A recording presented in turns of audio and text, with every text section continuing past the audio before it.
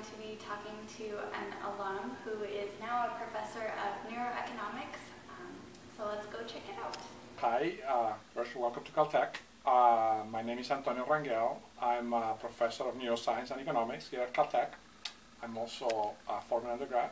I'm class of 1993 and I was associated with Dabney House. Could you tell us a little bit about your research and what you do now? Sure. I ran uh, a lab on something called neuroeconomics, and we use a variety of ways of measuring uh, neural activity to basically try to understand how does the brain makes different types of decisions, from you know choosing an apple or an orange to more sophisticated decisions like whether to donate to a charity, be nice to others, things like that.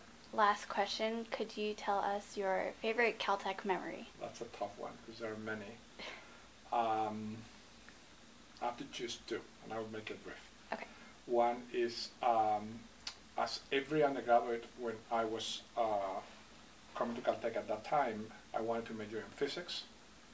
Uh, everybody in my freshman class was going to major in physics, and then we all find our different ways.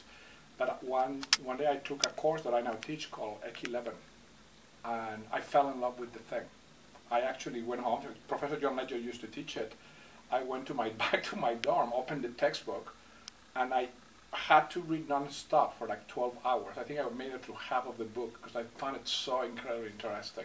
So just the discovery of that thing that I, it's related in some sense to my work now, but, but I just found it very, very interesting, that intellectual discovery.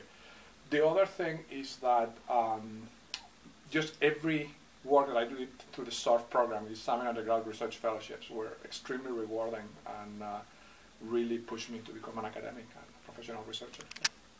Okay, great. Thank you so much. My pleasure. Come to Caltech.